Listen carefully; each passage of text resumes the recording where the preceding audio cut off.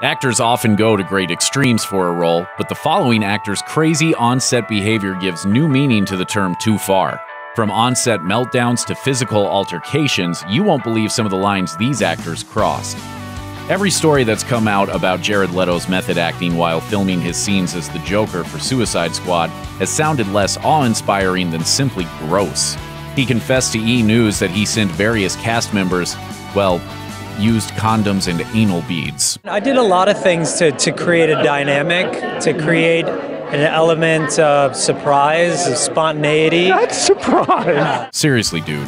What? I mean, the Joker is somebody who doesn't really respect things like personal space or boundaries. Fortunately for Leto, he didn't mess with Viola Davis, whose reaction to his onset antics perfectly summed up the reaction of any rational human being. I would have got my husband, who was called Headache Ball back in the day when he played football, and I would have said, take care of the Joker. Of all the film set freakouts in Hollywood history, none may ever equal the expletive filled rant Christian Bale fired off at cinematographer Shane Hurlbut during the making of Terminator Salvation in 2009.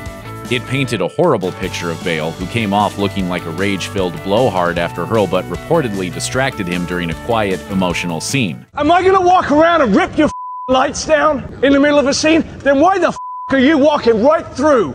Ah, da da da da, like this in the background. Listening to Bale's tantrum years after it leaked, it's easy to understand why he was quick to apologize on KROQ FM's Kevin and Bean show. There is nobody that has heard that tape that is hit harder by it than me. So I make no excuses for it. It is inexcusable. Bale went on to say that he and Hurlbut made up very shortly after, although, shocker, they haven't worked together since. Katherine Heigl is one of those actresses who's reportedly so difficult to work with Entire lists are made about her alleged on-set behavior. In the case of the 2010 movie Life as We Know It, it depends who you believe. While the film's director and executive producer praised Heigl's work on the movie to The Hollywood Reporter, some insiders claimed they witnessed desperately difficult situations involving the Emmy winning star. The source revealed she can cost you time every single day of shooting. Wardrobe issues, not getting out of the trailer, questioning the script every single day, even getting her deal closed at Warner's was hard. She hit that point of no. When you start to remember that Heigl reportedly made $12 million for the movie, you can't help but roll your eyes. It's not a huge wonder then that Heigl has essentially disappeared from Hollywood. As fun as she was to watch, you still have to play nice at work. Rumors have persisted for years that Gene Hackman was a nightmare to work with on the set of Wes Anderson's The Royal Tenenbaums.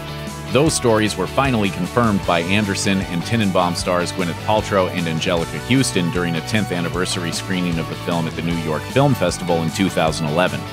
According to IndieWire, all three of them admitted to being scared to work with Hackman in the first place. During a Q&A panel, Houston said, "I was a lot scared, but I was more concerned with protecting Wes. None of us have heard or seen of Gene since this movie." Later in the Q&A, Anderson vaguely confirmed a long standing rumor that yes, Hackman really did call him the C word. Still, he did his best to downplay the whole situation, saying, He's a huge force and I really enjoyed working with him. Even though he was very challenging with me, it was very exciting seeing him launch into these scenes. He may be funny while the cameras are rolling, but in between takes, Mike Myers is reportedly incredibly difficult to work with. His ridiculous antics on the set of Wayne's World have been agonizingly detailed by the film's director, Penelope Spheeris, who later told Entertainment Weekly that she, quote, hated that bastard for years. She vented, You should have heard him when I was trying to do that Bohemian Rhapsody scene. I can't move my neck like that. Why do we have to do this so many times? No one is going to laugh at that. Even worse, according to ABC News, Spheeris recalled a moment when Myers spent hours on the phone with his manager threatening to quit because the set didn't provide margarine.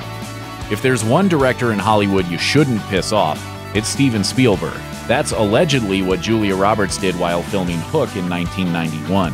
Reportedly heartbroken over the end of her relationship with Kiefer Sutherland, Roberts was rumored to have been notoriously difficult to work with, to the point where some tabloids referred to her as Tinker Hell, according to the New York Times. Even Spielberg himself confirmed tensions on the set in an interview with 60 Minutes, saying flat out, it was an unfortunate time for us to work together. Steven Spielberg, I, I find quite confused. I find him to be, uh, unfortunately, not, not, as, not as good at remembering the time that we spent together as, uh, as I am. If tabloid rumors are to be believed, Jennifer Lopez may have experienced her own unflattering moment while filming the romantic comedy What to Expect When You're Expecting. According to the New York Daily News, Lopez, who had just split from her husband of 10 years, Marc Anthony, wouldn't talk to anyone directly on the film's Atlanta set. In fact, the only way she allegedly would communicate was through her handler. So much for still being Jenny from the block. The exact details of how and why Shia LaBeouf threw a punch at Tom Hardy while filming their 2012 movie Lawless are unclear. LaBeouf first alluded to it in an interview with Details, and Hardy confirmed the altercation in a subsequent chat with Den of Geek, saying with a laugh, He just attacked me. He was drinking moonshine. I was wearing a cardigan and, er, went down. The actual punch has since been downplayed. LaBeouf later told MTV News that it was brotherly love, not moonshine, that caused the fight. Meanwhile, director John Hillcoat claimed on Reddit that while the fight did happen, Hardy wasn't actually knocked out. Instead, the two of them simply had to be restrained. Isaiah Washington was fired from the set of Grey's Anatomy in 2007 amid rumors that he directed a homophobic slur at co star T.R. Knight during a heated fight with Patrick Dempsey on the set the previous fall. In the lead up to getting fired, Washington repeatedly denied the allegations, most famously during a press conference at the 2007 Golden Globes. No, I did not call TR a Never happened. Never happened. Knight contradicted his account. Washington finally copped to his offense in an interview with Larry King, claiming he meant to use the offending word in the context of, quote, somebody who is being weak. And goodbye, Isaiah Washington. Lindsay Lohan's bad behavior on the set of Georgia Rule is the stuff of Hollywood legend. According to the Los Angeles Times, things eventually got so bad that the studio chief of Morgan Creek Productions actually sent her a letter in which he claimed she was, quote, acting like a spoiled child. Lohan, who was often late to the set or missed filming days altogether, even ticked off various cast members, including none other than two time Oscar winner Jane Fonda. Amid rumors of an on-set blowup, Fonda confirmed to CBS News that yes, she once cursed Lohan out in her trailer. She was late one day, and I got mad and I went in and I said, "Get your ass out here on the set." If it's any consolation for Lohan, her feud with Fonda was limited to just that incident, and Fonda claimed that overall she loved working with her. If Patton Oswalt is to be believed, Wesley Snipes was a terror to work with on the set of Blade Trinity. He would only answer to the name Blade. You you couldn't call him. he would only answer to Blade. the Blade. Yeah. Speaking to the AV Club in 2012, Oswalt described Snipes as an off the rails diva who only came to set to film his close ups. He revealed he wouldn't come out of his trailer and he would smoke weed all day. And you'd walk by his trailer and this wall of of pot stench would just like whoa and like kind of push you to the side. Even worse, Oswalt claims that Snipes at one point tried to strangle the film's director, David S. Goyer. Yeah, that's about 50 lines crossed right there. LL Cool J's alleged improvising on the set of Oliver Stone's football drama Any Given Sunday reportedly got so violent, the Miami Dade Police Department had to get involved.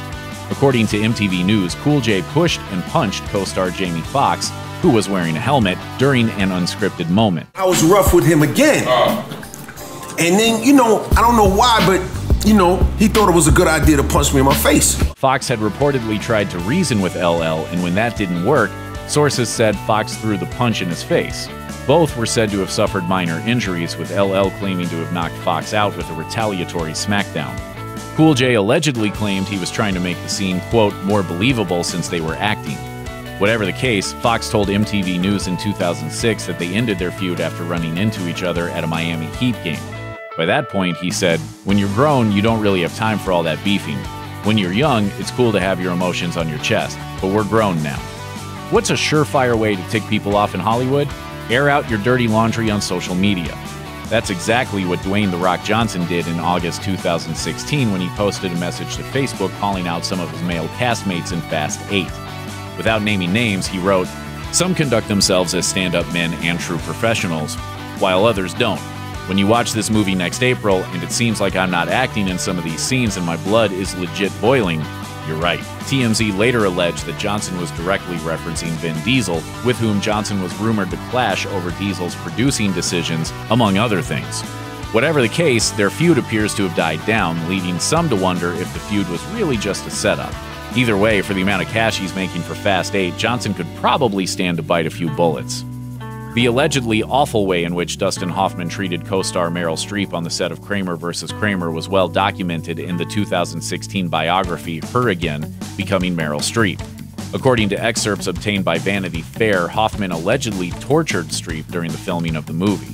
He would bring up the death of her former boyfriend and once improvised a scene by smashing a glass against the wall, leaving shards of it in her hair. And then, in, in another scene, he slapped me, and you. And when I see the movie, I see the imprint of his hand Although she didn't participate in the biography, Streep did imply that shooting Kramer vs. Kramer with Hoffman wasn't exactly the best of times in a 2011 interview with CBS News. But I think he's very, very gifted. It wasn't the most fun I've ever had on a film. Pissing off Meryl Streep? Oh, Dustin, that's a big no no. Check out one of our newest videos right here, plus, even more grunge videos about your favorite celebs are coming soon. Subscribe to our YouTube channel and hit the bell so you don't miss a single one.